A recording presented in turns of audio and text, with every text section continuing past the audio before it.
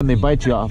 Dock owners and fishermen often don't get along. As a fisherman, yes, it's true that. can't own the water, man. But as a property owner, I imagine it's not fun seeing people whip lead weights and hard plastic lures at your expensive pontoon boat. So I get that. Thankfully, to this day, I've never pegged anyone's dock or boat. I've never even met anyone while fishing their dock or boat until today.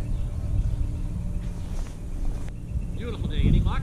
Uh, yeah, a couple pickerel, little ones. Pickerels give a good fight, don't they? Yeah, for sure. Just not great when they bite you off. Camera? Yeah, What do you do? You film it when you catch them? yeah.